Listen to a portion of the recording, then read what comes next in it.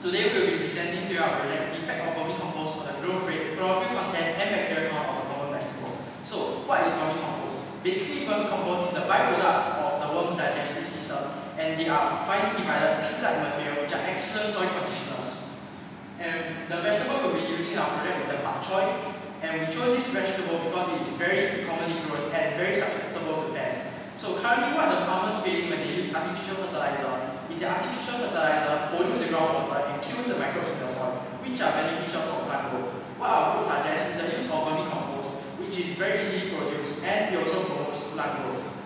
So we aim to find out the effect of vermicompost on the growth rate, chlorophyll content, and bacterial count of bok choy, which has been treated with vermicompost produced by phosphate, paper waste, and organic waste, as well as artificial fertilizer and our control where no fertilizer was used. So we hypothesize that vermicompost will promote the growth rate, increase the chlorophyll content as well as decrease the bacterial count on leaf surface of bok choy. And that vermicompost produced by alpha organic waste will be more effective than vermicompost produced by alpha paper waste.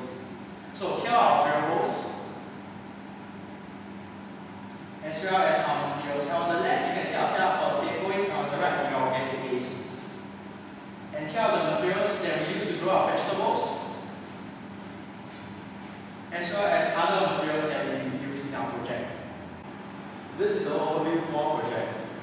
Firstly, to obtain a vermicompost, the two species of worms are placed in the bin, and in the paper waste setup, we added shredded paper, and in the organic waste setup, we added fruit pulp and fruit peel, and at the end of the month, we can collect the vermicompost.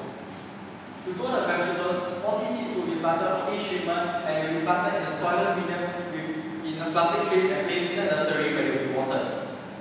To mitigate the effects of overcrowding, the green netting is specifically holes to beneath was placed on the soilless medium and the seeds could be evenly distributed as can be seen on the picture above. To measure the vegetable growth rate, to measure, firstly we measure the height by comparing against a string and comparing against a meter root. To measure the shoot root dry mass on the respective dates, we remove 5 vegetables, wash them and place them in an oven and to measure their dry mass after that. And to measure the leaf surface area, we compare the leaf surface of the vegetable against a piece of brown paper. To measure the chlorophyll content, we use a device called the CCM 200 chlorophyll content meter, which will give us the chlorophyll content of the plants. Measure the bacterial count on the leaf surface, is used to swab three times on three leaf surfaces of each regular plant, placed in bacterial broth and perform serial dilution at a concentration of 10 to the power 4, 5, and 6, and incubated in agar plates overnight. After that, a bacterial comparison is made. And here are just showing our setups. We are the compost organic setup paper setup, artificial setup, and our control setup. And as you can see, the vermicompost organic results show much better results as compared to the rest. And so here's the graph showing the height of our vegetables. As you can see, the heights of the plants fertilized with vermicompost organic is definitely much higher than the rest. And the t-test showing organic versus control setup is significant.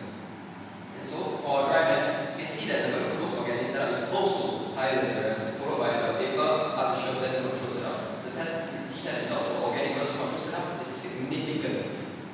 And so, for the leaf area results, um, it's shown that the, the plants uh, fertilized with vermicompost organic has much greater area as compared to the other setups. And the t-test results for the leaf area show that organic versus control and artificial versus control p-values are significant. So next we have the chlorophyll content. As you can see, the CCI for the organic and paper setups are much higher than the artificial and control setups. The, the t-test results also show that the results for organic versus control and the paper versus control are significant. Thus, we can conclude that the growth rate, increase in dry mass, leaf area, and chlorophyll content of the vegetables grown in organic vermicompost is significantly higher than all the vegetables. And the vermicompost from organic waste provided more nutrients as compared to the paper vermicompost setups. And finally, earthworms fed with paper waste are malnourished and are unable to provide the nutrients that the plant needs. So for bacterial count, uh, bacterial count, you can see that organic and paper show very little surface bacteria as compared to the artificial and the controlled setups. And this, this shows that vegetables grown in vermicompost we have reduced surface bacteria. And this is probably due to the plant growth regulators and hormones that may strengthen the immunity of plants. And thus, you can see that the application of vermicompost obtained from earthworms can promote vegetable growth, increase chlorophyll content, and reduce the bacterial count of the vegetables. We also face several problems with, our, uh, with the growing of our vegetables. As you can see, we have a snail infestation which we solved with snail pellets and salt. We also have the waterlogging of